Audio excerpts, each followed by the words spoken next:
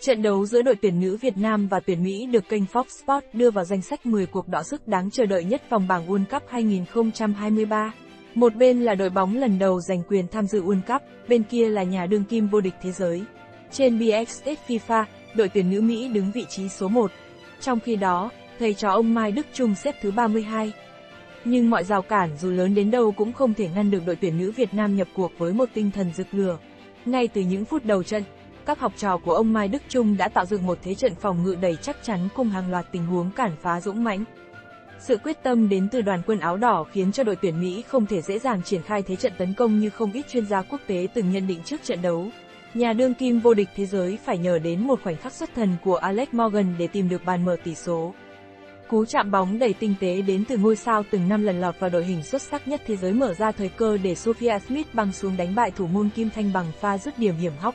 Sophia Smith ghi bàn mở tỷ số trận đấu. Sau bàn thua, đội tuyển nữ Việt Nam không để mất tinh thần. Thủ môn Kim Thanh và các đồng đội vẫn duy trì được sự bọc lót khá ăn ý trong những tình huống phòng thủ, giúp khắc phục được sự thua kém về mặt thể hình cũng như tốc độ. Phút thứ 42, nỗ lực truy cản của Hoàng Thị Loan bị trọng tài thổi phạt. Một quả penalty được trao cho đội tuyển Mỹ. Trong cuộc đấu trên chấm 11 mét, thủ môn Kim Thanh bắt bài và ngăn chặn được cú đá của Alex Morgan. Kim Thanh chặn được cú đá của Alex Morgan. Niềm vui của các cầu thủ Việt Nam sau tình huống Kim Thanh cản phá penalty. Tuy nhiên, tuyển nữ Việt Nam đã không thể giữ được tỷ số 0, 1 đến hết 45 phút thi đấu đầu tiên. Ở khoảng thời gian bù giờ, Sophia Smith nhân đôi cách biệt sau pha sút bóng tương đối may mắn khi Kim Thanh bị quất tầm nhìn. Bước sang hiệp 2, cả hai đội đều có những sự điều chỉnh chiến thuật. Đội tuyển nữ Việt Nam mạnh dạn đẩy cao đội hình hơn và sẵn sàng thực hiện những tình huống phản công nhanh. Ngược lại, đội tuyển Mỹ cũng muốn đẩy nhanh tốc độ trận đấu. Nhà đương kim vô địch World Cup sử dụng rất nhiều tình huống tấn công biên nhằm tận dụng tốc độ và khả năng càn lướt của các chân sút. Dù vậy, so với hiệp 1, trong hiệp 2 các chân sút đội tuyển Mỹ tỏ ra kém duyên hơn trước khung thành.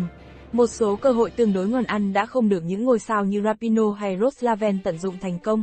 Cũng phải nói thêm rằng, thủ môn Kim Thanh đã có thêm hàng loạt pha ra vào chính xác để hóa giải nguy cơ cho đội tuyển nữ Việt Nam. Trong suốt hiệp 2, chỉ có Lindsey Horan ghi tên mình lên bảng điện tử với pha lập công nâng tỷ số lên thành 3-0. Đây cũng là kết quả cuối cùng của trận đấu. Một tỷ số hợp lý cho màn trình diễn của hai đội. Các cầu thủ nữ Việt Nam có một màn trào sân đáng nhớ tại đấu trường World Cup. Từ mặt tinh thần cho đến chuyên môn, đoàn quân dưới quyền huấn luyện viên Mai Đức Trung đều cho thấy họ đã ngày càng trưởng thành vượt bậc hơn.